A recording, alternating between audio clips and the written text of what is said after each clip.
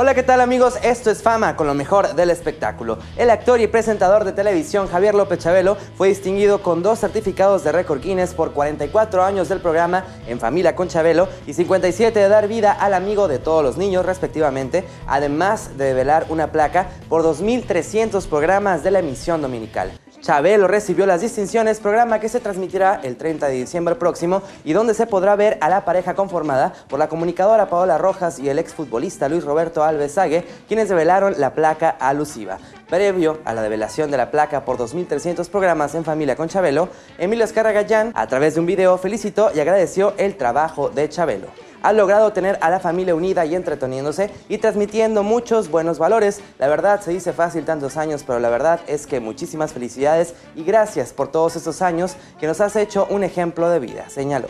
En otras noticias, en esta ocasión, la ganadora de La Voz México segunda parte fue Luz María, integrante del equipo de la intérprete lamentablemente fallecida Jenny Rivera.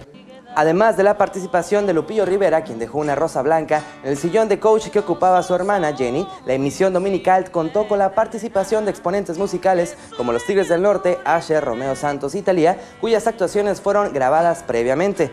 Gracias por recibirme en este escenario en representación de la familia Rivera. Quiero agradecer a la producción y a la gente que nos brinda su cariño en este momento tan difícil. Quiero compartir lo que era este gran proyecto para mi hermana.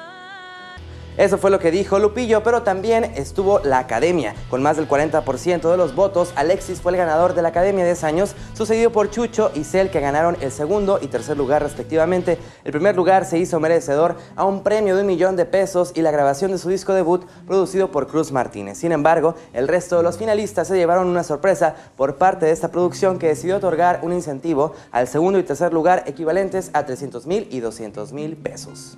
La cantante Madonna junto a Bruce Springsteen, junto a su inseparable E Street Band, son los músicos más rentables de las giras musicales del 2012, según ha anunciado el portal Billboard, un listado de 25 artistas que corona a la reina del pop gracias a superar la cifra de 228 millones de dólares con el tour mundial MDNA, seguida muy de cerca por The Boss con una recaudación de 199 millones de dólares. El ranking se ha elaborado a partir de los datos de recaudación de las giras de artistas de todo el mundo desde noviembre del 2011 hasta noviembre del 2012. Tras Madonna y Springsteen se sitúan el rockero Roger Waters, ex miembro de Pink Floyd, y también, por supuesto, Coldplay.